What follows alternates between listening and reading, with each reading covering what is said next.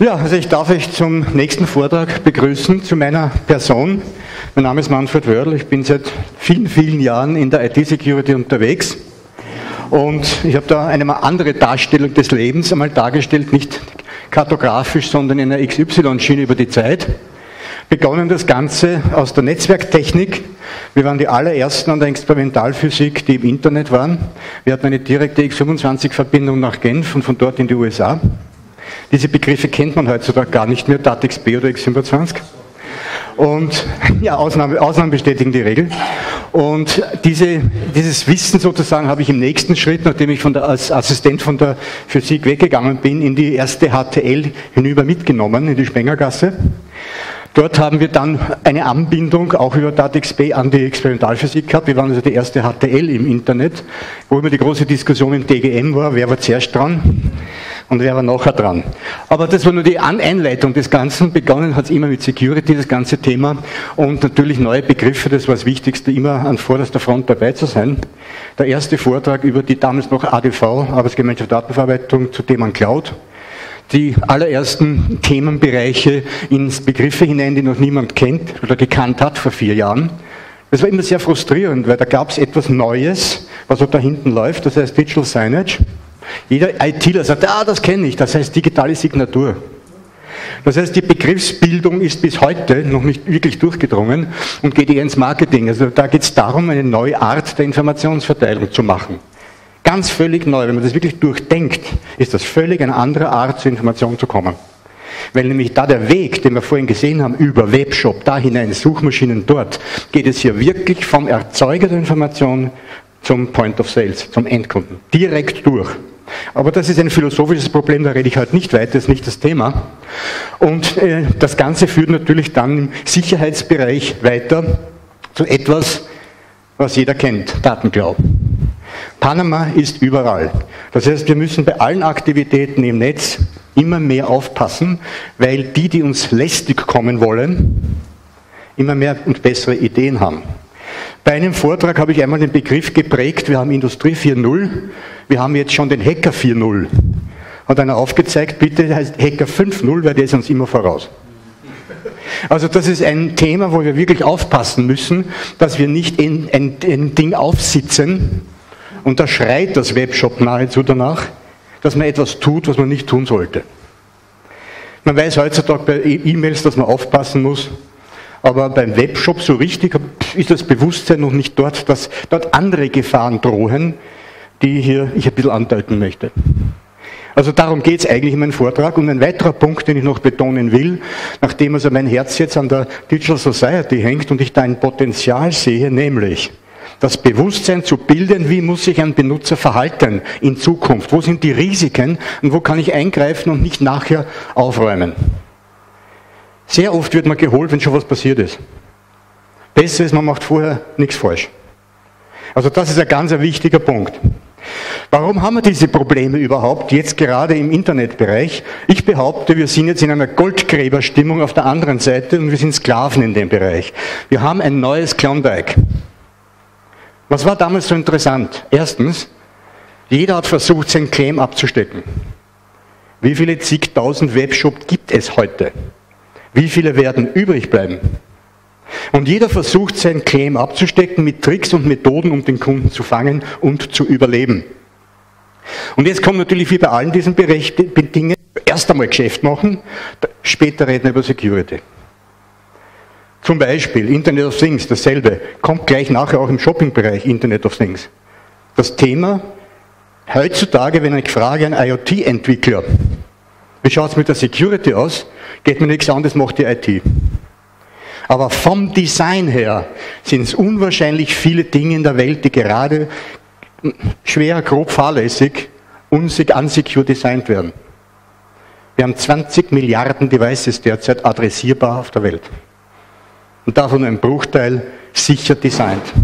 Also ganz ein heikler Punkt in der Richtung und da werden wir uns auch mit der Digital Society hinein, verstärkt hineinbegeben.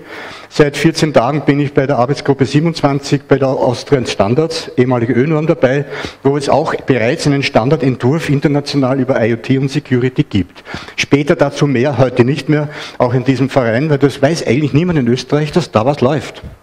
Aber da gibt es bis jetzt nur Drafts. Aber es geschieht was. Das heißt, wenn jetzt sozusagen der Schutz nicht ganz funktioniert von außen, muss ich mich selber schützen. Das heißt, richtig verhalten, damit also gerade im Webshop ich mich nicht in offene Messer hineinlaufe. Denn der nächste Punkt, Gesetzesgebung, die sind immer fünf Generationen hinten nach. Das ist einfach so. Haben wir ganz kurz gehört, die Unsicherheit ist gegeben, weil eben die nicht nachkommen kann. Naja, das heißt, wir gehen die alte Geschichte an, schütze dich selbst. Wo ist das größte Problem eigentlich in Wahrheit? Und da war ein ganz ein kleiner Begriff, den ich übergangen habe absichtlich auf der zweiten Folie, nämlich BCM. Business Continuity Management. Im Prinzip sollte privat und der Firma alles so laufen, dass man seinen Betrieb oder sein Ich oder sein Privatleben kontinuierlich ohne Abstürze überlebt. Da gibt es hunderttausend Dinge und eines dazu ist die Privatsphäre. Da gibt es also viele Bereiche in dem Dingen, Themenbereich und vor allem das Schlagwort Awareness. Das ist eines der wichtigsten Punkte von heute. Ich möchte ein bisschen in dieser Runde die Awareness steigern. Das Bewusstsein, dass man, bevor man etwas eingibt oder mit dem Finger draufklickt, eher sich zurückzieht. Und wir haben das vorhin gehört, wenn Sie so AliQuest oder Alibaba 40 Räuber ihnen auflauern, weil sie alle Informationen wollen, bevor ich sie hineingebe, lieber auf das andere Shop wechseln oder das eben gerade nicht tun. Die, die Zitate, die man heutzutage leider immer wieder findet, meine Daten interessieren niemanden. Ja, da wird man schon ganz grubelig, wenn man das hört. Richtig, die Daten sind vorerst einmal gar nicht das Hauptziel, sondern allein der Rechner, den zu übernehmen, ist einmal ein Ziel. Um eine DDoS-Attacke zu fahren. Damit fängt es einmal an. Dass man natürlich mit geklauten Daten bis zum Identitätsdiebstahl gehen kann, das Punkt werde ich kurz Beispiel zeigen dann, das ist natürlich schlimm. Das heißt, das kann jemand sich für Sie ausgeben, das sehen wir schon im Zusammenhang zum Shop, in Ihrem Namen einkaufen. Und jetzt kommt natürlich die Rechtsfrage. Was passiert dann? Und jetzt ist die Nachweispflicht, die Beweisbarkeit, die Glaubwürdigkeit. Wieder ein Beispiel aus der Praxis. Jemand war, hat von unserer Gutachten verlangt, eine Spendenaktion hat ihn ausgetrickst. Er hat 10 Euro gespendet und wir haben ihm 50 abgebucht. So was gibt's. Sage den Namen nicht, was rufschädigend ist, wer das tut. Aber was ist passiert? Die haben behauptet, er hat fünfmal getippt. Wie soll er das beweisen, dass er es nicht gemacht hat? Das ist ein Problem. Also aufpassen bei all diesen Dingen, dass Sie nicht zu schnell Informationen wohin geben und vielleicht auch nicht unprotokolliert wohin gehen, sobald, wenn es auch irgendwie möglich ist. Dann natürlich das Vertrauen, aber okay, das ist eine Sache, wem vertraue ich im Webshop? Doch da habe ich noch eine kurze Folie dann noch. Es wurde bereits erwähnt, Sie können Webshops zertifizieren lassen, den Link habe ich drinnen, können wir uns dann gleich anschauen. Und natürlich eine Aussage, die immer zutrifft, also die immer antrifft, sagen wir so, es trifft immer die anderen. Der Haken daran ist, dass die anderen das nicht sagen. Wir hören heutzutage viel zu wenig, wenn was passiert. Wir wissen das, weil ich also auch äh, Gutachter bin bei Gericht, dass die meisten Fälle in der Verschwiegenheit weggrundeln. Damit ja nicht eine Verunsicherung entsteht. Und auch gleich ein Hinweis zur Kreditkartensache, wenn Sie dort auch nur mit den kleinen Fingern so machen, Achtung, wenn du nicht zurückzahlst, sehen wir uns in der Öffentlichkeit, wird sofort alles erledigt. Absolut. Selbst auch erlebt bei einem Fall, das in Amerika, in England drüben war ich kurz drüben und nachher wurde auf meine Kreditkarte noch einmal gegessen in dem Lokal. Ich wollte natürlich nachforschen und habe nachgestoßen. Ich möchte Info. Was war? Nichts, keine Info kam zu mir, es wurde nur storniert. Es wird einfach stillgeschwiegen, wenn da was passiert bei solchen Aktionen. Ich war bei der Kreditkartenfirma, ich urgiert, diese, dieser Beleg kann nicht sein, da war ich schon in Österreich nachweislich und nicht mehr dort. War leicht zu beweisen für mich. Das haben sie kurz zur Kenntnis genommen, die E-Mail hat gereicht. Weil sie wahrscheinlich versucht haben, Belege zu prüfen, wie auch immer.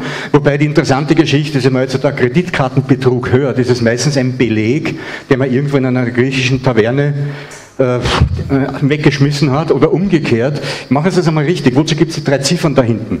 Ist doch ein irrsinniger Blödsinn eigentlich auf der Kreditkarte. Wozu sind die drei Ziffern da? Wenn ihr Kreditkarte in der Hand habt, drei merken wir die genauso.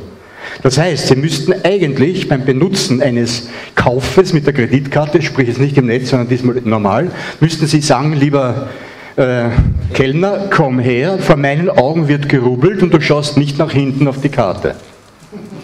Machen Sie das einmal in einem Lokal. Das ist ein anderes Thema. Die, das sagt er dann, ja. Das sagt er dann, aber im Prinzip. muss sie prüfen. Es bleibt einfach nichts anderes über. kann immer jeder unterschreiben. Da muss ich drei Ziffern nur überschreiben. Ja, das, wie auch immer, auf alle Fälle, der normale sogenannte Internetbetrug resultiert aus der Security aus zu 99% aus einem anderen Betrug, der de facto zu einer Nutzung dann im Netz führt. Das ist auf einen kurz auf den Punkt gebracht. So, jetzt machen wir weiter, sonst äh, sitzen wir morgen noch da, weil es ein spannendes Thema, klarerweise, aber können gerne nachher noch drüber reden. Und dann natürlich ein Thema, was ganz interessant ist, es gibt in Amerika drüben, sind schon ein bisschen vorsichtiger, weil vielleicht passiert auch mehr, das Department of Defense hat eine eigene Abteilung eingerichtet, die sehr viel Geld zur Verfügung stellt gegen Identitätsdiebstahl. Naja, was macht Österreich? Null. Ich habe noch nie irgend gehört in Österreich, dass da irgendwas gemacht wird als Hilfe für die armen Leute, weil die sind wirklich arm, wenn die Identität gestohlen wird. Ich möchte nicht das Beispiel da von der Sandra Bullock nehmen, äh, das Netz, falls das wer gesehen hat. Ein Spitzenfilm von der Denkweise her, aber da sind wir nicht so weit entfernt davon, wenn einer wirklich Identitätsdiebstahl vorhat. Und da sieht man natürlich genau, dass die Amerikaner da ein bisschen mehr schon dahinter sind, dass da auch eine Hilfestellung für den Armen, den es betrifft, gegeben ist. Ja, also das ist der, der, erste Punkt. Der zweite Punkt jetzt, dass man sich selber schützen muss, seine Daten.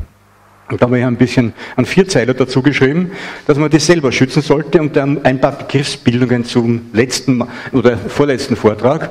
Wir haben den Begriff Datenschutz und Datensicherheit. Das eine, Datenschutz, wird durch das DSG 2000 versucht abzubilden, da kommen noch Begriffe noch. Die Datensicherheit, dass sie nicht verloren gehen. Und da ist auch so ein Begriff gefallen im letzten Vortrag. In einem Cookie, wo mein Passwort vielleicht drinsteht. Jaul. Jaul. Das sind so Dinge, die natürlich gefährlich sind. Auf das komme ich gleich. Was mache ich mit? Wie mache ich das wirklich? Weil irgendwo muss ich ja meine, selber auch meine Passwörter haben. Also ich glaube, ich habe in meinem Umfeld an die 40 Passwörter, die ich brauche. Die kann man sich nicht einfach unaufgeschrieben einfach merken. Aber es gibt Möglichkeiten über einen Formalismus, den ich Ihnen kurz zeigen werde, wie man bei einem Webshop das machen kann. Und dann haben wir natürlich die Rechtsprechung, die nachhinkt und die Praxis, was ist gescheit, was man macht. Es ist immer besser, man klärt das praktisch mit jemandem, mit einem Partner, mit einer Notariatsstelle, die dazwischen im Handel steht. Weil Recht, es gibt kein Recht, ich zitiere das als Sachverständiger sehr gerne, obwohl es natürlich nicht gern gehört wird, es gibt kein Recht. Es gibt keins. Man kann 100.000 Gesetze machen, am Schluss kommt heraus, man bekommt Recht. Man bekommt Recht bei einer entsprechenden Stelle und wer besser argumentiert oder teure Anwälte hat, der gewinnt. In den seltensten Fällen stimmt das dann hundertprozentig immer überein, es ist immer meist ein Kompromiss. Und dann natürlich Zukunft und Gegenwart. Wo entwickelt es sich hin? Und das ist ein definitiver Punkt. Wir haben heute noch überhaupt nichts gehört von zum Beispiel Tokens, also irgendwas ich in der Hand habe. Und das wird definitiv die Zukunft sein. Ich muss etwas besitzen, um etwas tun zu können. Passwörter sollten in, der nächsten, in den nächsten paar Jahren, hoffe ich, nicht mehr existieren. Aber das ist wahrscheinlich genauso ein idealistischer Ansatz wie ein nordischer Staat, der sagt, er verbietet alle Benzinautos. Das ist etwas, was ein Wunsch ist und manche probieren es und kündigen es an. Bitte? Ja, ja, ist es Norwegen, nein, Finnland, einer von denen da oben ist es, der gesagt hat, ab dem Jahr X, ich weiß es auch nicht auswendig, darf kein Benzinauto mehr fahren. Auch kein Diesel, nichts. Verkauft. Ja gut, dann gibt es aber noch eine Schonfrist, weil die werden eh kaputt. Also solche Sachen passieren. Ja, war das? Also. Okay, gehen wir weiter. Und da gibt es natürlich jetzt ein paar Dinge, die hineinzielen in diese Shoppings-Thematik, die uns auch dann zeigt, wo die Probleme vielleicht ein bisschen sind. Größer gesehen als bei rein Security. Ich nenne es das Detail-Syndrom. Warum sind die auf die Schnauze gefallen? Sie haben Spitzenverkäufer gehabt, die aber geschult waren als Techniker. Das heißt, ich habe das selber auch gemacht. Ich bin im Aufrufcenter zur Dietrich gegangen, haben mir das genau erklären lassen, was ich was braucht, habe mir angeschaut und bin heimgegangen und habe es über Amazon gekauft. Also dieser Weg dieses optimalen Beratens mit Lagerhaltung muss man völlig anders aufziehen, sonst scheitert man. Und das ist genau der Weg, der tatsächlich also Dietrich in die Krise gebracht hat. Umgekehrt wieder, und jetzt kommt's, wie schaut es mit der Garantie aus und mit einer Hotline? Das ist auch ein Punkt, den man zur Geizhalskaufthematik einmal diskutieren muss. Wir kennen das, weil wir in manchen Bereichen auch mit Screens zu tun haben. Und natürlich passiert Folgendes, wenn Sie in Österreich einen Samsung-Screen kaufen, Sie gehen in den Geizhals, kriegen Sie in Deutschland billiger. Und zwar so, wenn ich als normaler Geschäftsmann 4-5% draufschlage, bin ich noch unter dem Heck, den er hat. Das heißt, es kann nicht funktionieren. Warum? Zwei Gründe. Erstens haben die große Stückzahlen, damit kriegen sie einen günstigeren Preis und können über Geizhals anbieten. Aber der sitzt irgendwo in Hamburg. Und jetzt schauen Sie mal, wie es mit der Garantie aus. Was ist übrigens Garantie? Eine freiwillige Leistung. Gewährleistung ist die Pflicht, gesetzlich. Garantie ist freiwillig. Somit kann ein Konzern oder eine Firma die Garantie freiwillig reduzieren oder erhöhen. Und wenn ich heutzutage auf einem Screen drei Jahre Garantie habe, kann er sagen, gebe ich dann nur, wenn du es in Österreich kaufst. Ist ein Riesenproblem wieder, weil da kommt die EU und sagt, darf er nicht sagen. Macht es ein bisschen geschickter heute, aber macht so. So läuft die Situation, wenn man international vergleicht, aber das sollte Ihnen bewusst sein, dass ich als normaler Konsument eine Gewährleistung habe, die ist Gesetz und Garantie ist freiwillig. Und genauso ist es mit der Hotline. Wie und wo erfahre ich, wenn ich was brauche? Wenn man Hotline anruft, ist die erste Frage, die ich immer stelle, sitzen Sie in Irland oder wo sind Sie zu Hause? Ich möchte wissen, mit wem ich rede. Sitzen meistens irgendwo in dieser Gegend aus verschiedenen äh, preislichen Gründen und so weiter, also Gebühren. Es gibt noch ein zweites Syndrom, das wir natürlich haben, das haben wir heute schon gehört. Das hybride Einkaufen wäre ja nicht schlecht, wenn ich über Internet bestelle und dann physisch hingehe und das kaufe. Nur haben wir da schon das große Kreislersterben und das betrifft natürlich nicht nur die echten Kreisler, sondern auch die technischen Kreisler, wenn ich so nennen darf. Äh, ja, ich habe in, in äh, Pressbaum ein Geschäft, das gibt es ein zweites Mal nur in äh, Wels. Dieses Geschäft hat alles, äh, aber nicht im technischen Bereich. Ich wundere mich jedes Mal, dass der leben kann. Also solche Geschäfte werden langsam aber sicher aussterben, aber ich weiß, wenn ich was schnell brauche, fahre ich dorthin. Das ist alles. Der hat von der, von der Nudelsuppen angefangen bis zur Farbe, bis zum, also alles, ein, da ist ein echter Universalkreisler. Ein Kaufhaus. Kaufhaus, ich glaube, die spinnen. Der Werner kennt das. Also da kriegst du sogar die Gasflasche mit die 5 Kilo, wenn ich es brauche, zum Heizen. Alles hat er. Aber das ist selten, sowas gibt es fast nicht mehr. Ja? Das ist nicht Auf, Aufsatz Kaffeefilter, den man früher verwendet hat Aufgießen. Also das wundert mich, sowas würde ich normalerweise heutzutage nur mal bei Amazon suchen, weil ich gar nicht auf die Idee komme, dass der noch sowas hat. Also das sind so die interessanten Geschichten. Also das Kreislaufparadigmen, der Wechsel dahinter ist, Nächster Punkt, Anschreiben war mal. Das war die Zahlungsgeschichte, dieser komplexe äh, Vorgang, wo ich aufpassen muss, dass Lieferung und Geld in der richtigen Reihenfolge laufen. Früher ist man zum Kreisler gegangen, oh, ich mein Geldbeutel vergessen, kann ich bitte anschreiben. Diese Denkweise ist vorbei. Vertrauen gibt es nicht mehr. Kontrolle ist das Einzige, was man noch haben will. Und das ist jetzt, kommt man in das Soziale ein bisschen rein, weil das soll ja auch in der Digital Society hineinkommen. Ich sehe da einen gewissen Wandel in dem Vertrauen. Äh, ich will nicht das Thema Handschlagsqualität in den Raum stellen. Ob es das überhaupt noch irgendwo gibt. Ja, das, den Begriff kennen die Leute wahrscheinlich gar nicht mehr, mehr, was das eigentlich sein soll. Ja, und das ist, äh, persönlicher Kontakt war gestern und ja, das führt also zur wirklichen Vereinsamungsproblematik ein klein bisschen. Und eigentlich wird das Probieren und Angreifen virtualisiert. Und wenn man so an die Zukunft denkt, die kommen nachher noch die Begriffe, so wie Sie sie vielleicht kennen, Augmented Reality mit einer Google-Brille und solchen Dingen mehr. Diese Dinge werden, oder diese Cyber Gloves, die Handschuhe, wenn man das an sich spürt, wird so weit kommen, dass man eigentlich schon einkaufen geht, aber zu sitzt dabei dass man durchaus das Regal angreift, die Gegenstände wirklich physisch mehr, mehr oder minder bekommt. Aber wie gesagt, das ist eine Frage, ob das etwas Positives, lasse ich völlig offen. Es ist eine Richtung, in die es gehen wird. Ja, die Katze im Sack wissen wir eh, was das bedeutet. Ja, wo sind jetzt die Risikopotenziale? Und zwar in verschiedenen Bereichen.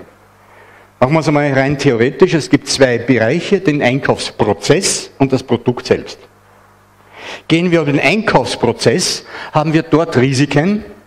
Also da kommen erst einmal die allgemeinen Gefahren der Webnutzung. Damit hätten wir schon einen ganzen Tag zu füllen.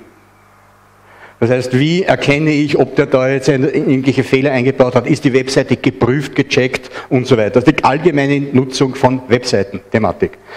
Kreditkartenthematik haben wir schon gesehen, kann man verschieben in verschiedenen Bereichen mit oder ohne Kosten.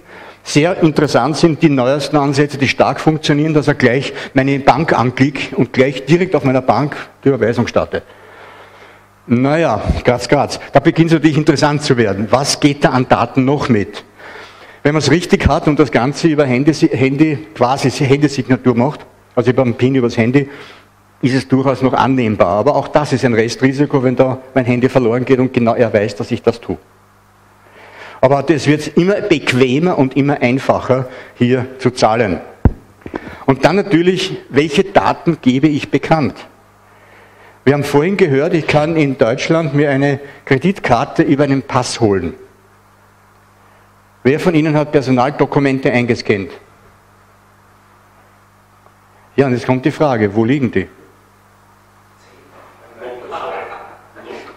Also das ist, das ist eine Frage und jetzt könnte ich natürlich, wenn, wenn so etwas angenommen am PC liegt, da geht verloren, es ist nicht kryptisiert und jemand sieht hier einen Pass abgedruckt, also abgelegt, den kann ich durchaus so replizieren auf einem Papier, dass der Kamera das nicht erkennen kann.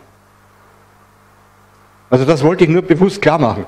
Legen Sie bitte keine Personaldokumente ab. Interessant ist eines, bei irgendeiner Umfrage, das ist ein Thema für sich, das ich dann kurz klären werde noch, hat einer versucht, Daten von mir zu kriegen. Hat gesagt, na, welche Firmenbuchnummer? Sag ich, schauen Sie im Firmenbuch nach. Wie alt sind Sie? Schauen Sie im Firmenbuch nach. Ich meine, die kann ja nachschauen. Daten sind ja von mir sowieso sehr viele bekannt. Also man muss immer unterscheiden, was weiß man sowieso, was bekomme ich auf andere Wege und was nicht. Und eine Kopie vom Führerschein oder eine Kopie vom Pass kriegen Sie nicht so einfach. Außer über Hackerwege. Also Achtung auf diese Geschichten, wo legen Sie es ab? Hinweis von mir, es gibt, wenn man es sich nicht selber antun will, gibt es eine Möglichkeit, wenn man sich ja digitale Signatur löst, kann man dort auch einen Tresor mieten und das liegt dann im staatlichen, halbstaatlichen Bereich, sagen wir so. Also da gibt es einen Bereich, wo man das durchaus als Tresor ablegen kann. Also das kann man können in der Pause da weiterreden. Also wichtig ist, Tresore haben. Und zwar nicht physisch, sondern am Computer, wo sie es ablegen können. Da gibt es viele. Und dann ist natürlich die Frage bei einem Tresor, das ist natürlich dann zwangsneurotisch, aber gerade ein Tresor könnte ja wieder für einen Tresorhersteller Hintertürtel drin haben. Logischerweise. Daher die Empfehlung, solche Dinge eben Zertifizierstellen oder ähnlichen Bereichen zu übergeben. Aber jetzt habe ich ein bisschen ausgeholt, wo man aufpassen muss bei den Daten, die man weitergibt. Also, aufpassen beim Webshop, wenn es zu viel Daten verlangen. Ja, bitte. Ja, die, mir fällt der Name jetzt nicht ein, aber das ist, ist, ist die, der Tresor. Wer gibt die digitale Signatur? Die, die, die, der Regulat, der E-Trust, danke, das war's, ja. Der E-Trust-Tresor. Da haben es, glaube ich, 10, 10 Mega oder sowas oder ein bisschen mehr sogar haben sie dort Platz. Also ich habe da ein paar Sachen schon ausgetestet, das liegt dort schön brav. Kann man auch die Dokumente witzig ablegen, digital signieren lassen und dort liegen lassen, digital signiert. Was den Vorteil hat, wenn man es irgendwo zu einem Amt schickt, dass es dann wirklich auch schon ausreicht voll. A-Trust, A-Trust, A-Trust. Also ich habe schon längere Zeit nicht damit zu tun gehabt, weil als Sachverständiger ist man verpflichtet, eine digitale Signatur zu lösen bei denen, das ist eine Hintergrundförderung. Und daher kenne ich das A-Trust und das A-Trust ist eigentlich der Tresor wirklich eine empfehlenswerte Angelegenheit. Ja, und dann natürlich, das war jetzt einmal die Geschichte mit, über die Webgeschichte selbst. Also aufpassen noch einmal mit den Daten. Im Übrigen, als Hinweis, fälschen Sie die Daten nicht. Weil, wenn Sie es viermal fälschen, weißt du beim vierten Mal, wie die richtigen Daten sind.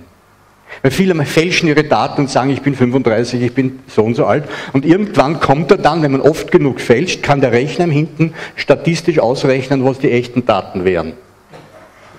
Na, ist es so? Ja?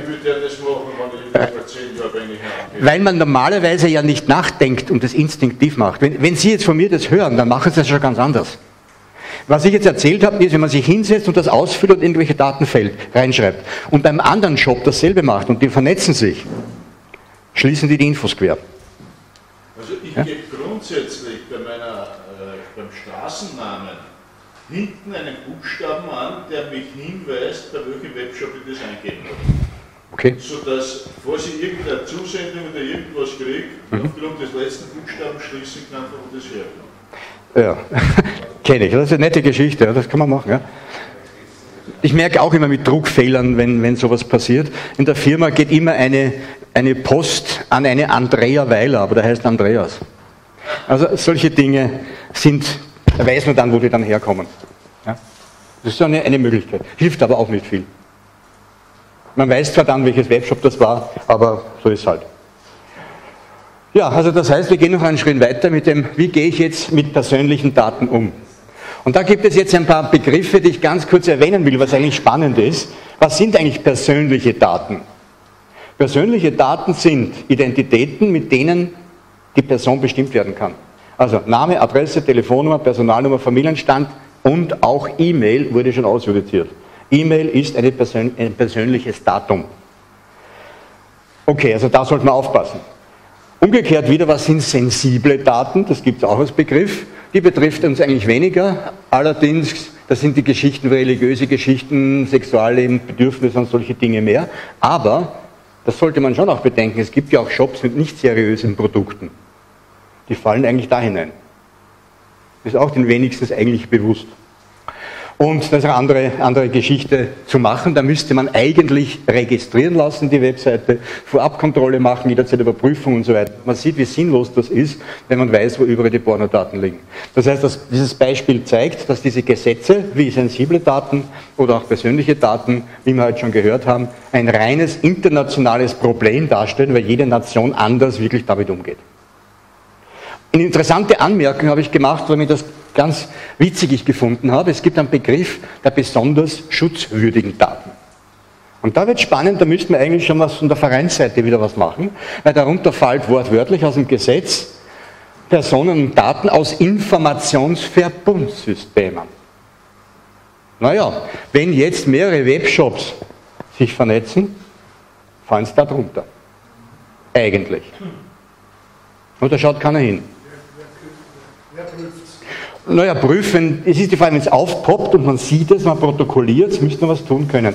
Ich habe da irgendwo in den Unterlagen jetzt vor kurzem, vor zwei, drei Tagen, ist, ist mit Amazon ein Prozess geführt worden wieder und da ist was rausgekommen als Gewinn für Konsumenten, muss ich nochmal nachschauen. Also es passieren schon einige Dinge, aber es ist halt sehr mühsam, gegen solche Konzerne vorzugehen. Aber genau das ist das Problem, wenn da unabhängige Firmen die noch nicht so weit sind, dass sie sich gegenseitig aufgekauft haben, was der normale Weg ist. Wenn ein Großunternehmen was braucht, kauft er sich ein soziales Netzwerk. Das läuft einfach so. Und da hat man einen Verbund, solange das noch nicht im Kaufverfahren passiert ist.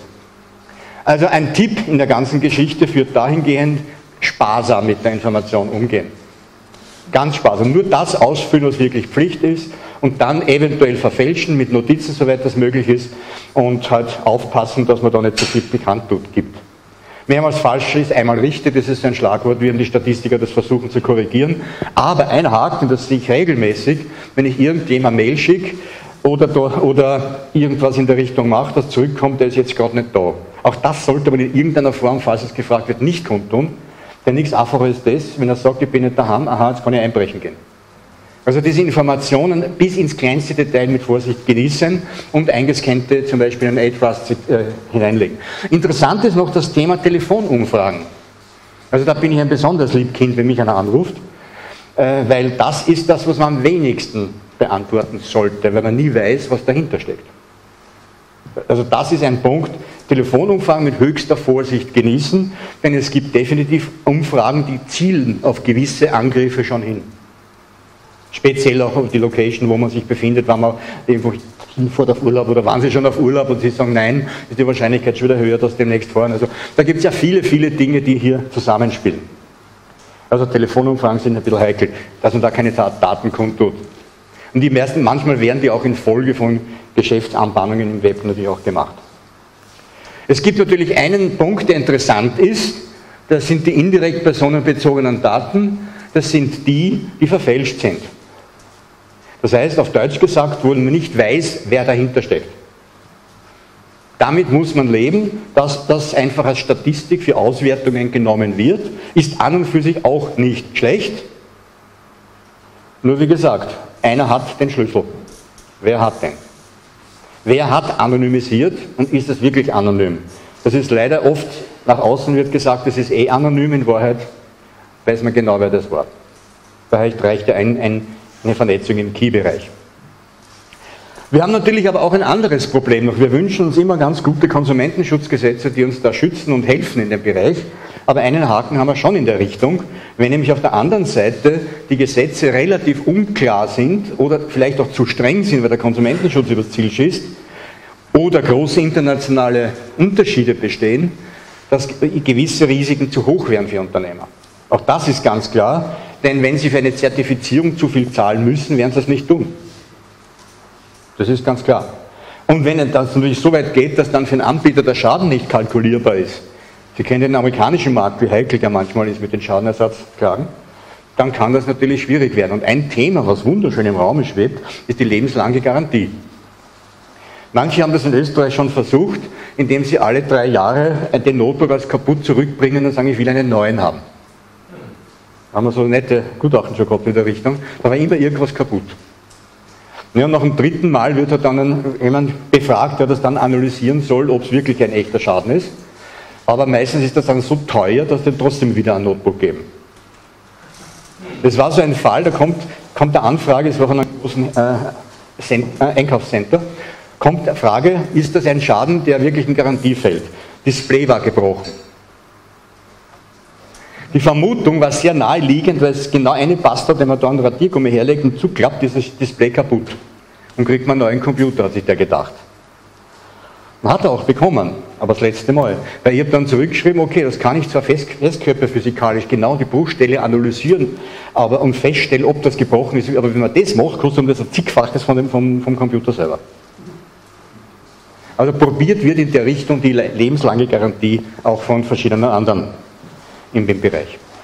Ja, jetzt gehen wir mal zum Thema, wie schütze ich mich also jetzt konkret? Erstens einmal, sofern es leider noch notwendig ist, und das wird noch lange sein, ein Passwort. Einige Regeln zum Passwort, gewisse Länge. 20 plus ist nicht lange. Wenn Sie ein ordentliches Kryptoprogramm betrachten, schlägt der eine noch längere, wirklich sichere Lösung vor. Ich muss aber eines sagen, das grenzt dann schon wieder ans Zwangsneurotische, denn das kann dann zwar Pentagon und CIA vielleicht knacken, aber nicht der Nachbar. Also das ist immer die Frage, auch mit der Tür, das kennen Sie vielleicht, ein Bekannter von mir hat sich so eine dicke Tür machen lassen. Wo machst du das? Damit die Einbrecher drüben einbrechen. Das heißt, wenn meine Tür stärker ist als die vom Nachbarn, brechen sie dort ein. Aussieht, das reicht an und für sich schon. Ja? Und genau dasselbe gilt auch bei gewissen Passwortvarianten, wenn er sieht, wenn ein Algorithmiker kommt zu kein Ziel, bleibt, pfeift er drauf. Dann natürlich äh, mischen entsprechend und die alte bekannte Regel, nicht so wie früher, man gesagt hat, nimm einen dicken äh, Lexikonstich hinein in Zirkel und nimm das als Passwort. Genau das machen die Suchalgorithmen der Hacker. Heißt, da geben sie schon vor Phrasen, welches Lexikon, welche Sprache und so macht er schon seine Brute Force Attacke. Das heißt, heutzutage ist ein gutes Passwort eines, das in keinem Lexikon steht. Also ein kleines Beispiel, das gebe ich immer sehr gern, verwende es selbst natürlich jetzt nicht mehr, wenn ich es erkläre. Ich gehe abends in den Wald und die Anfangsbuchstaben nimmt er einmal. Klingt einmal nicht schlecht. Dann irgendein Sonderzeichen hinten dran, es geht um Geld, also nämlich ein Dollar. Dollar fällt auf, nämlich ein Euro. Okay, dahinter dann eine Zahl. Und die Zahl, wie merke ich mir die? Na, so wie einen PIN ist die nächste Folie. Also man kann sich selber sozusagen Algorithmen definieren, das ist das Ziel, was ich Ihnen mitgeben will. Wenn Sie in einem Webshop unterwegs sind, bauen Sie sich selber einen persönlichen Algorithmus und aus diesem heraus können Sie dann das Passwort sich merken manchmal sogar aufschreiben, ein Teil davon, nämlich die Zahl. Auf das komme ich gleich. Äh, und nach Möglichkeit, aber da komme ich später nochmal darauf zurück, weg vom Passwort. Und das wird sicher in Zukunft verstärkt kommen, dass man halt nicht unbedingt immer von einer Firma jetzt einen Kunden-USB-Stick bekommt. Das machen manche Kaufhäuser, steigen auf sowas um, was als Kundenkarte einen Stick verteilen, aber ist auch nicht das Wahre. Den hat man nicht dort, wo man braucht. Welche Hardware hat man immer bei sich? Das Handy, logisch. Also wird das Handy genau so eingesetzt werden, wie es bei, normalerweise beim Banking üblich ist. Äh, äh, Challenge-Response-Verfahren, also ich tippe ein Passwort ein, was in Wirklichkeit irgendein Kombi ist, die halt unkritisch ist, wenn es geklaut wird, weil der schickt dann an eine Handynummer noch ein Key, den er eintippen muss. Da muss man dann aufpassen, dass man sein Device wirklich immer bei sich hat. Das ist der nächste Punkt, der noch ein letztes Restrisiko bei diesem Verfahren nach sich zieht. Also der Token ja, aber das Handy ist das Universal-Device in der Richtung. Ja, und das sind dann die, da gibt es auch übrigens einen Online-Checker, der prüft noch einmal nach, ob das Passwort stimmt. Da würde ich nicht das ganze Passwort eintippen, sondern nur das ohne Zahl, denn als Zwangsneurotiker könnte das Programm sich das vielleicht merken, wem verschicken. Aber da wird man dann schon sehr zwangsneurotisch. Darum sage ich, es ist harmlos, aber da würde ich nur das Passwort in dem Teil eintippen, wo danach noch von mir eine Zahl dahinter kommt. Weil das ist dann das echte Passwort. Also das sind so die zwangsneurotischen Verfahren, die man in sich langsam entwickelt. Ja, und wenn man jetzt zur Zahl kommt, jetzt wird spannend, bei der Zahl erstens niemals aufschreiben. Und damit wird es natürlich schwierig, wenn ich jetzt hergehe und ich habe da wirklich 20 verschiedene Security-Bereiche und da habe ich immer die letzte Zahl von mir dahinter, das ist schlecht. Wenn da immer 1, 2, 3, 4, 5 steht, sowieso schlecht, aber sollte einfach als Zahl nicht stehen. Daher baut man sich selber, und jetzt wird es spannend, ganz kurz nur zum Nachdenken, ganz kurz für sich eine Regel.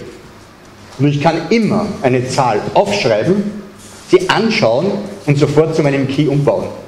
Wenn ich nämlich umkehrbare Algorithmen einbaue in der Security. Das heißt, nehmen wir ein kleines Beispiel. Die heikle Zahl ist 3412, das wäre mein PIN angenommen. Und jetzt gehe ich her und spiegle das geistig. Ich denke in der Mitte einen Strich, 4 1 wird tauscht und 2 3 wird tauscht. Fertig. Und ich habe schon einen Algorithmus für mich, dass ich hergehen kann und 2143 auf meine Bankomatkarte hinten drauf schreibe. Und wenn ich es dann eintippen soll, schaue ich das nur an und kann, ohne dass ich was ändere, sofort sagen, ah, gespiegelt. Das heißt, ich nehme mir jetzt die Zahl wieder in der Mitte und spiegel sie, die da steht. Nur das hinschauen. Brauchen Sie nichts aufschreiben. Obwohl die Zahl drauf, und der kann sich durchaus seine zigmal ausprobieren, der wird mit 21, 43 nichts auffangen, wenn er meine Karte findet. So, jetzt ist natürlich interessant. Bitte? Er probiert aus dem Spiegel. Scherzvoll. Aber jetzt nehmen wir das Beispiel, angenommen, du bist jetzt ein braver Bösewicht ja, und klaust dir meine Kreditkarte und da steht das drauf. Dann weißt du, ah, der Manfred hat den Code, da kann ich schon eine damit. Schmeckt's nicht so, denn es gibt noch eine andere Algorithmen, die genau denselben Spaß machen, dass sie nämlich reversibel sind. Und wenn man jetzt für sich definiert aus dem nächsten Algorithmen eine Kombination, die man dann Leben lang hat, kann nichts passieren. Zweiter Algorithmus, der umkehrbar ist, ist der Außentausch zum Beispiel. Logisch.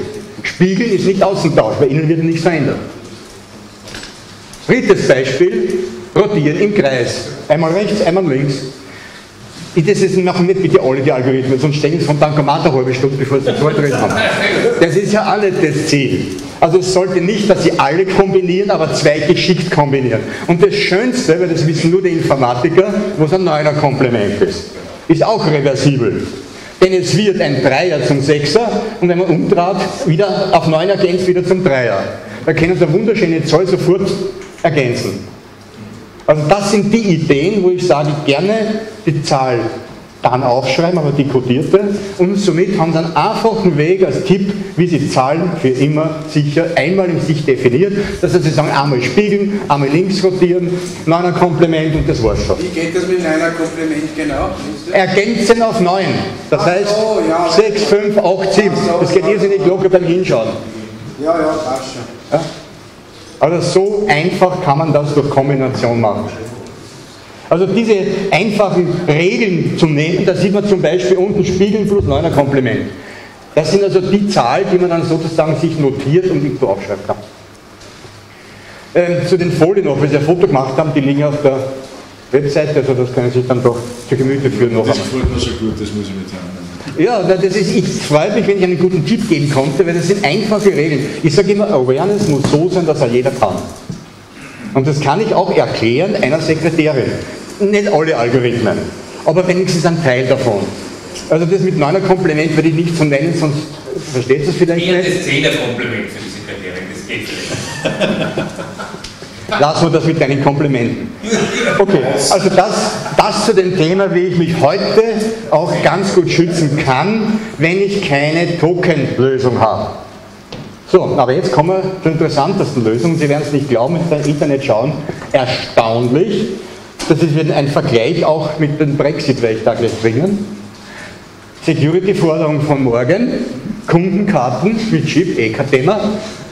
Device haben wir gesagt, aber RAFID subdermale Implantate haben alle Hunde, die seriös umrumlaufen.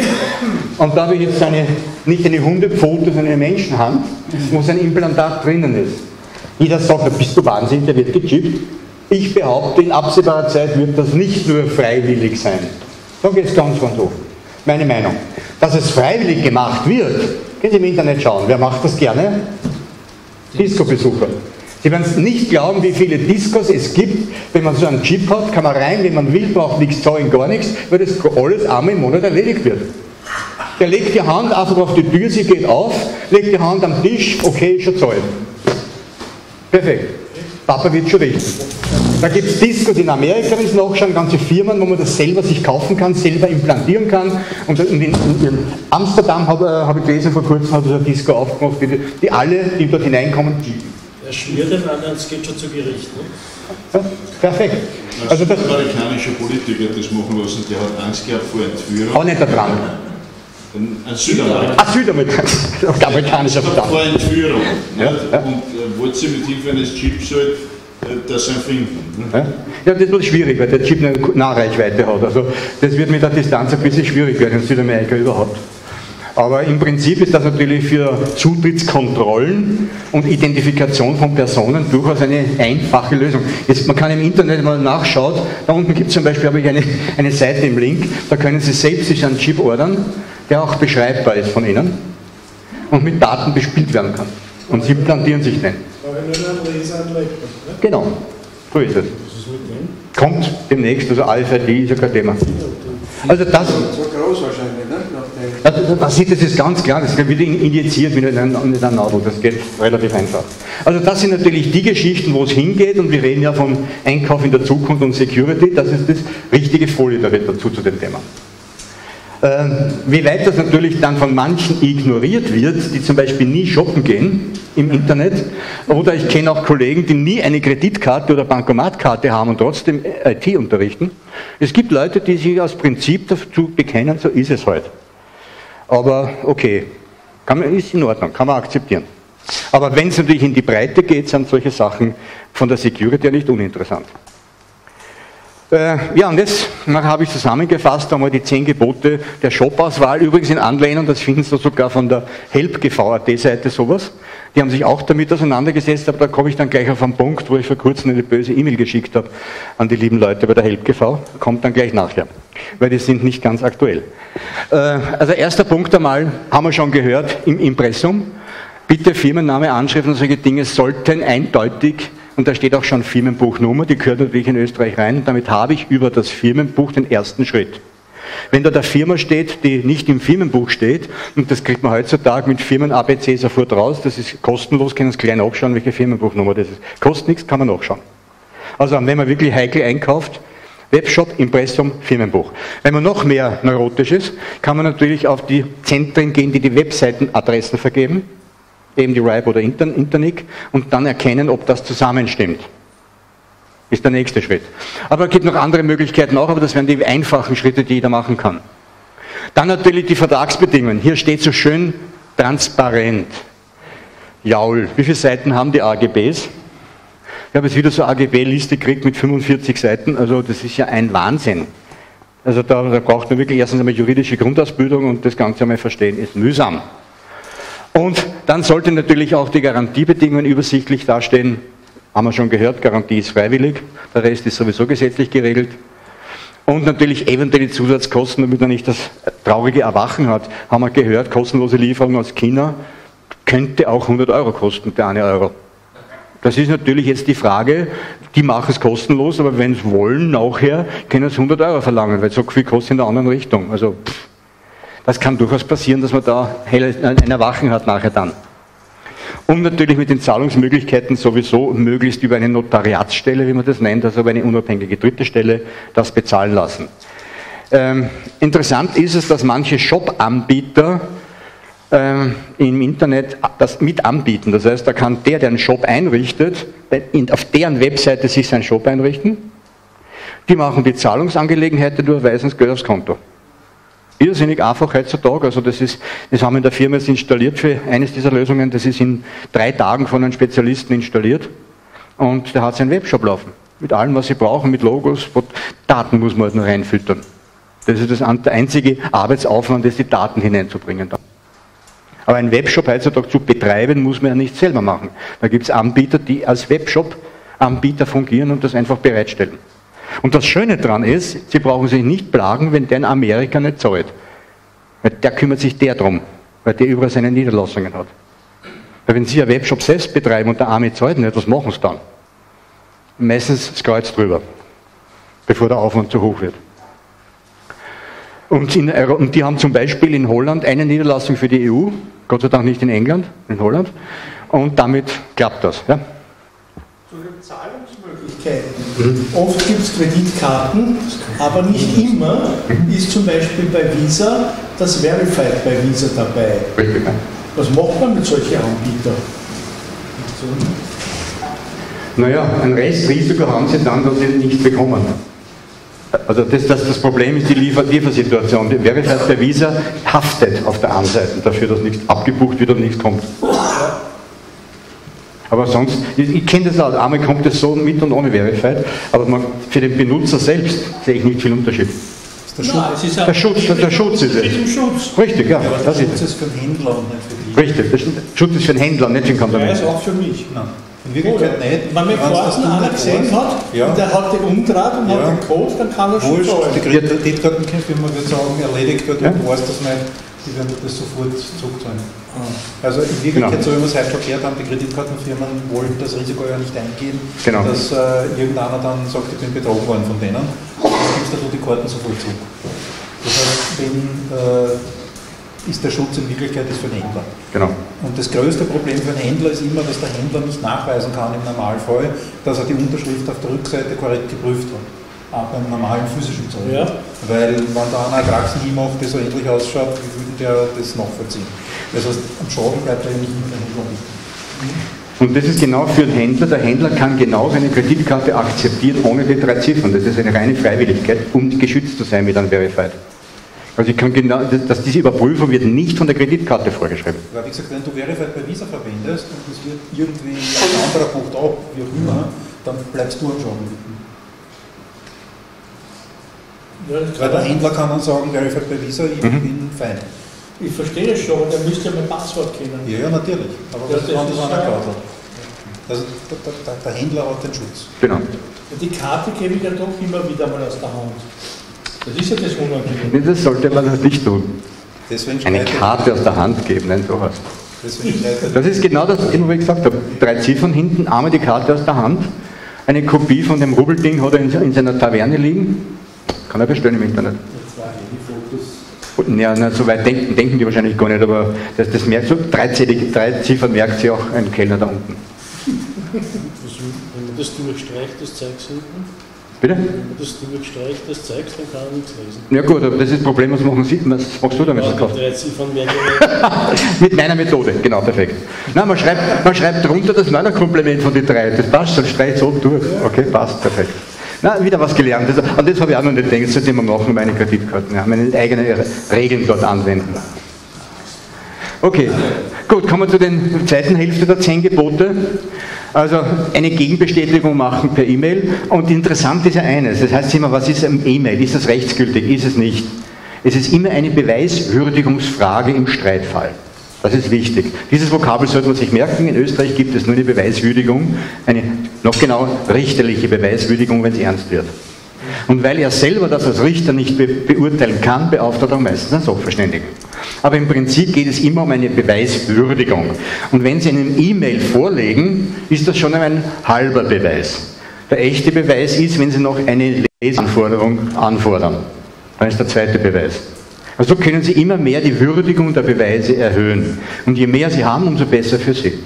Also das ist ein wichtiger Punkt, dass man das so bedenkt wenn es zu einem Streit kommt und man hat viele Belege, ich mache das meistens auch, wenn ich was bestelle, bin ich auch immer neurotisch, ich mache immer einen Snap vom Bildschirm und wurre mich dann, wenn eh hinten auch nur was zum Drucken kommt. Aber man weiß ja nicht, ob da nur ein Druckbutton hinten noch kommt. Oder ob es funktioniert. Genau. Das heißt, in so einem Fall gibt es immer mal schön brav Snap und geht schon. Aha, gut, brauche ich nicht, kann ich löschen. Aber auf alle Fälle habe ich dann immer schöne Belege und kann nachweisen, was los ist.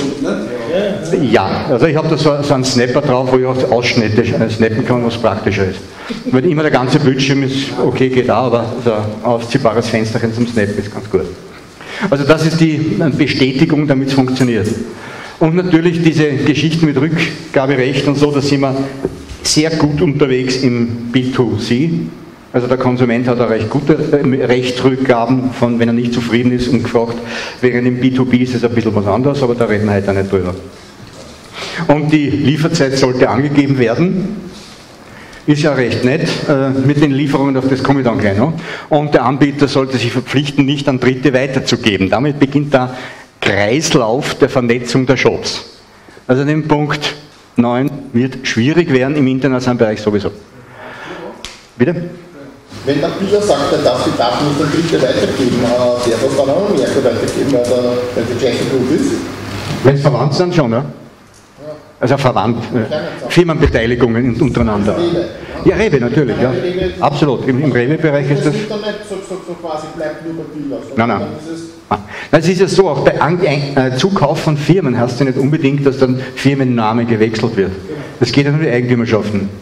LinkedIn ist ja da jetzt gerade gekauft worden, also die werden auch nicht den Namen wechseln. Okay. Gut, kommen wir jetzt zu dem Punkt, was wir vorhin gehört haben. Es gibt eine schöne Webseite, wo schon 295 zertifizierte Shops drauf sind.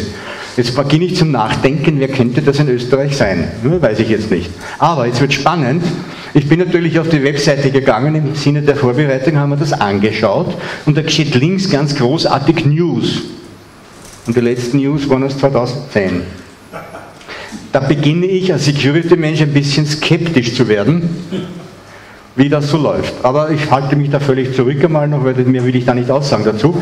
Aber auf alle Fälle, na, bin gespannt, was die so alles geprüft haben, müsste man sich einmal anschauen, wenn einer einen Webshop gründen will von Ihnen, kann man das ja gemeinsam einmal durchexerzieren. Äh, das Zertifizieren einer Webseite in Österreich spannendes Thema, weil ich auch nicht weiß, wer es tut. Also ob das die TÜV, TÜV jetzt nicht machen, weil sonst wäre ein TÜV-Zeichen da irgendwo drauf, wer immer das macht. Also interessantes Thema, die E-Rating.at, werden wir uns vielleicht als Verein einmal zur Brust nehmen und schauen, was die so tun.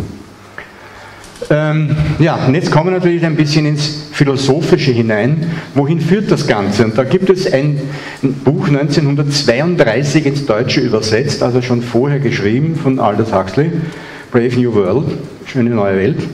Und wenn man diese, diese Texte hier liest, lesen wir das einmal. Mittels mentaler Indoktrinierung bereits der Kleinkinder werden die Menschen in gewisse Gruppen geprägt. Jaul, das ist doch Gegenwart.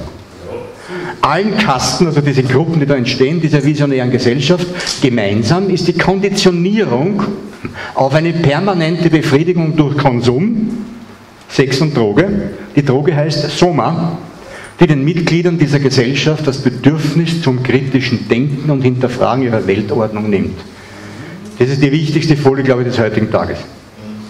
Und jetzt machen Sie bitte eines, ersetzen Sie Soma durch Internet. Und das vor 80 Jahren. Also das ist so faszinierend, wenn man das betrachtet. Also darum, da habe ich Luft geholt, wie ich das gelesen habe und man denkt, das muss ich unbedingt reinhängen, weil das ist wirklich faszinierend sollte man sich einmal gedanklich damit auseinandersetzen, wohin wir steuern mit unserer lieben Gesellschaft. Und daher habe ich die nächsten paar Folien noch unter dem Titel Brave New World dazugefügt und auch als Konklusion oben dazu notiert. Wie schaut es aus in Zukunft? Nach dem Einkauf über den Webshop wird die Lieferung erfolgen. Na, aus dem Haus gehen gehe ich schon nicht wegen Einkaufen, da gehe ich schon gar nicht wegen der Ware außer Haus. Ist ja blöd, wenn ich schon per Web bestellen kann. Also Lieferung durch Dienstleister. Na, haben wir heutzutage, ist ja nichts Besonderes. Aber es geht ja schon besser. In Abholcontainer. Post gibt es ja auch schon. Wenn Sie so Postpackerl holen, will ich nichts dazu sagen. Ich gehe hin zu dem Ding, sagt er, ich so zu dem Kastel gehe. Geht zu dem Kastel, das Kastel, stellt sich hinten an. Ich bin schon wieder hinten gestanden. Das Packel gar nicht drin, wenn der den Container. Also, das ist ja nicht organisatorisch gehandelt, weil da weiß der Postbeamte schaut das selber nicht, ob er es hat oder ob der Kosten das hat. Also, aber gut, das ist ein Thema. Man kann es natürlich schöner machen, dass man gar keinen hinstellt mehr, dann weiß man selber, ob es geht oder nicht mit QR-Code. In den Kofferraum eines Autos. Nette Geschichte. Irgendwo weiß einer, wo mein Auto ist und der andere, das liefert, weiß, wo das ist und kann hinein und macht den Kofferraum aus Haus rein. Wunderbar. Ich komme heim und habe das eh schon hinten drinnen. Das gibt es schon, ja. Schauen Sie im Internet nach. Also ob das, wie weit der Service jetzt schon aktuell angeboten wird, aber du weißt vielleicht mehr. Österreich gibt es das schon, die österreichische Post testet das, aber jetzt nur mit Gewerben, als ich bin ein Handwerker und ich brauche morgen 100 Schrauben, wird das eigentlich das Infoauto. Das ist ein Feldversuch. Ja, und die Frage, ob die haben den Schlüssel dann Nein. Ja, wir kaufen den Schlüssel. Wenn du einen Schlüssel für dein Auto brauchst, dann geht's nicht, ja? Geht natürlich, auf alle Autos geht es nicht, nein. Beim Cabrio geht es, da haut er so beide.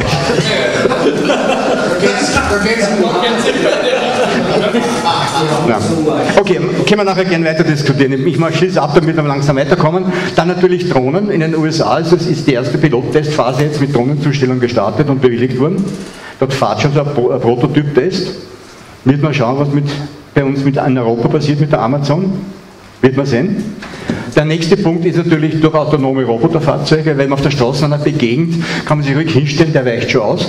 Also das wird eines der Schritte sein. Also kleinste Transportfahrzeuge auf dem Gehsteig kann durchaus laufen. Nur wenn er nicht bestochen ist. Und jetzt kommt natürlich der Punkt, der mich besonders mich wieder interessiert aus den Themen IoT und ähnlichen Dingen mehr, nämlich Downloads. Sie laden nur mehr als gekauft, sie kaufen sich einen Becher, ein schönes Service oder sowas, drucken einen Knopf, kriegen ein Config-File downgeloadet, sagen drucken und der 3D-Drucker druckt es. Ist ja auch nicht schlecht. Das heißt, wir brauchen die Dinge ja nicht mehr physisch von der Industrie 4.0 irgendwo erzeugen lassen, sondern sie lassen es bei sich zu Hause erzeugen. Ist doch auch ein interessantes Geschäftsmodell. Und da geht schon verdammt viel bis zu einer Prothese, die schon gedruckt wurde, wie man weiß, im Internet auf 3D-Druckebene. Ich sehe einen Bericht in Amerika, wo so Superreiche wohnen, die haben äh, quasi äh, Briefkästen äh, mit Kühlung. Weil da bestellt sich der Manager nachher dann das Joghurt und die Milch und sonst irgendwas und irgendwann Den Champagner. Und, die, ja, und, und den Champagner, genau. Aber das ist old-fashioned, das ist langweilig. Ich meine, da kann ich einen, einen Radlfahrer auch hinschicken. Das ist dann schon üblich, wenn man den Kühlkreislauf unterbricht. Langweilig. Das Drucken ist viel interessanter. Also wenn es mit dem Drucken funktioniert, mit gewissen... Beim Champagnerdruck ist eher die Frage, wie lange es dauert, bis er die Reife erreicht hat. Das ist eher das Problem. Also ich würde sagen, bleiben wir auf der Kunststoffebene, da geht es relativ preisgünstig demnächst, mit der Kunststoffebene irgendwas zu drucken. Wenn mit der Löffel fällt oder Besteck oder was, kann man Metalle, das machen die Amis ja längst schon mit den Militärs und so weiter. Okay, naja. Gut, der Fantasie ist jeder, ja, Fantasie ist jeder Spielraum gegeben, dass man das auf diese Art machen kann. Aber jetzt gehen wir noch weiter in der Brave New World. Wir sind ja eigentlich in der humoristischen Schiene unterwegs, aber es ist ein ernstes Thema. Das Einkaufen wird zum Eye-Shopping. Das heißt, man geht eigentlich ja nochmal gustieren in Wahrheit. Das Lusterlebnis Einkaufen wird auf einen Gustierausflug reduziert. Das müssen Sie einmal der zweiten Hälfte unseres Lebenspartners äh, kundtun, weil ich kenne das Prinzip, ich gehe einkaufen, Sie geht shoppen. Das ist immer ein Problem. Ich bin gleich fertig und das Shoppen dauert ewig. Und daher ist der Vorteil, ich kaufe bei Amazon und sie geht dort dann einshopping und sagt, wo sie in Amazon bestellen soll. Okay, das ist sozusagen der, die Zukunft des Kaufens humoristisch. Ja, und dann natürlich Vereinsamung ist vorprogrammiert, wenn man das Ganze hier betrachtet mit den virtuellen Themen, die sicher zunehmen werden, die schon sehr realistisch funktionieren, wenn man das einmal ausprobiert hat. Also Big Data macht es möglich, sind wir jetzt beim Thema, der gläserne Mensch der Zukunft ist der glückliche Konsument. Also das ist so ein typischer schöner Satz von mir. Und weil nach der Analyse des Einkaufsverhaltens weiß der Computer wahrscheinlich besser als ich, was ich brauche, was ich mir wünsche und auch, was ich mir leisten kann, weil er mit der Bank redet. Demzufolge weiß er genau, was er mir vorzuschlagen hat und was ich nicht träumen darf, sondern jetzt kaufen kann. Amazon macht es ja schon so. Wenn Sie dort einkaufen, da haben Sie doch einmal was nachgeschaut, könnte nicht sein, dass vielleicht und überhaupt und so. Und das ist immer so. Man kauft immer mehr, als man eigentlich gewollt hat. Und Big Data macht es möglich dahinter. Also auch hier ist die Gesetzeslage nicht weit hinten nach. Und auch IoT macht was möglich.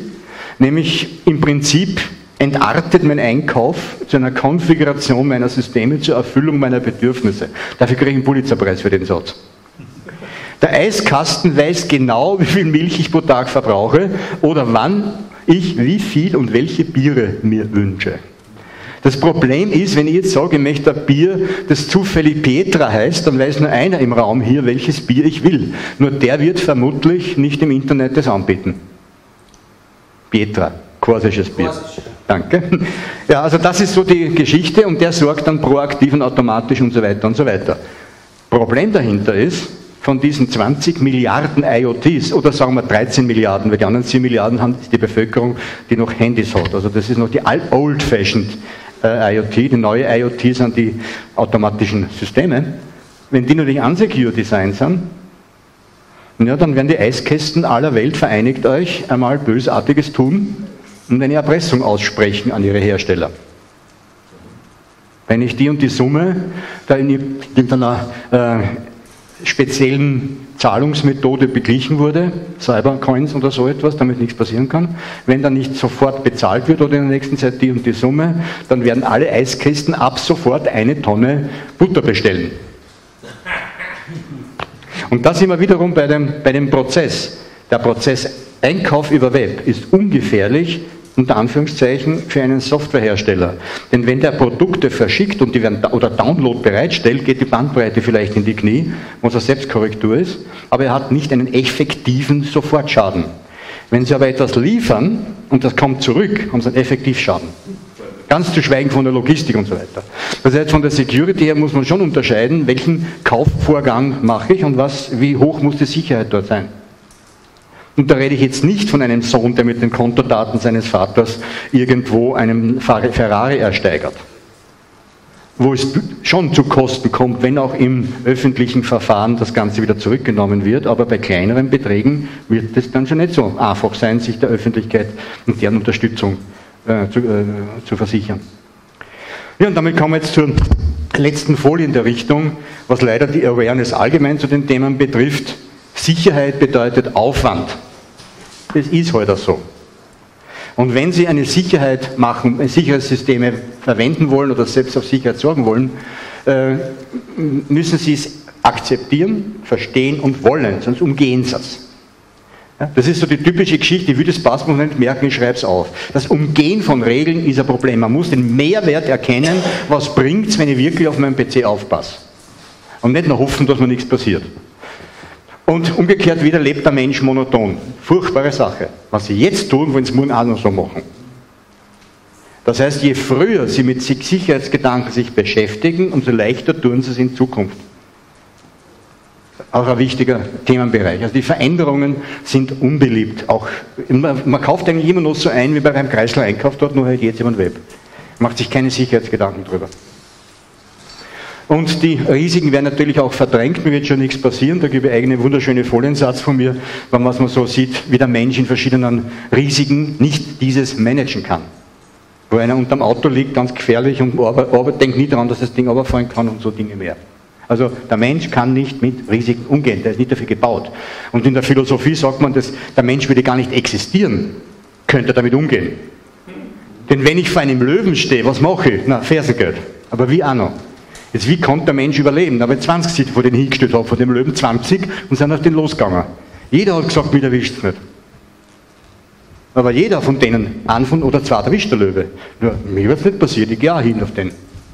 Das heißt, das Prinzip, das Risiko richtig einzuschätzen. Oder anderes Beispiel, wenn Firmen zum Beispiel sagen, wenn Spitzenmanager dürfen nicht gemeinsam in ein Flugzeug fliegen, wenn das Kind ausstürzen. Sage ich, bist du dumm? Da darf er da nicht einmal auf die Straßen gehen. Weil Fliegen ist sicherer als Autofahren und auf die Straßen gehen. Also das heißt, das Bewusstsein, wo die Risiken liegen, ist dem Menschen nicht bewusst. Und das haben wir beim Webshop genauso wie bei allen diesen Dingen. Ja, aber das eine sind unabhängige Ereignisse, mehr oder weniger voneinander. Ja? Das andere ist äh, in einem Flugzeug sitzen. Ne? Also so gesehen halte ich das nicht für hundertprozentig vergleichbar. Oh, ja, absolut, absolut. Es geht um die, Risiken, um die Vorgabe, etwas zu tun, in dem, unter der Aussage, es ist riskant. Die Abschätzung, was riskant ist, ist nicht im Kopf drinnen, im menschlichen. Das ist das, aber da können wir gern später diskutieren. Da muss ich dazu anmerken, das gab es bei einer Versicherungsgesellschaft, die deshalb zugrunde gegangen ist, weil es so war, dass die Manager alle in, einer, in einem Fliegerstand gesessen sind. Mhm. Deshalb gibt es diese Regel. Vermutlich, ja. Also wie gesagt, diese ganzen Themen kann man gerne noch nachher diskutieren. Da gibt es viele, viele Sachen, die noch zu, dazu zu erwähnen wären. Aber wenn Sie Sicherheitsfragen haben, bis zur philosophischen Lösung hin stehe ich da zur, mit Rat und Tat zur Verfügung. Danke.